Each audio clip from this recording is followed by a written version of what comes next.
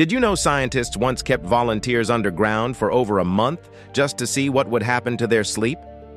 In 1938, Dr. Nathaniel Kleitman convinced several brave participants to join his groundbreaking experiment in Mammoth Cave. The plan seemed simple enough.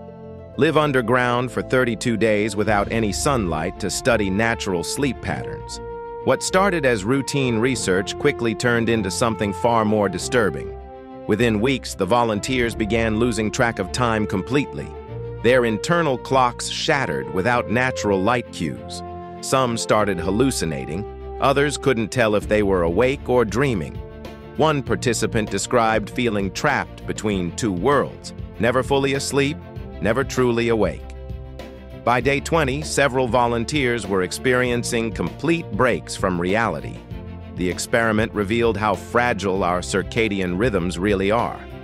While this research helped us understand seasonal depression and shift work disorders, it came at a terrible cost.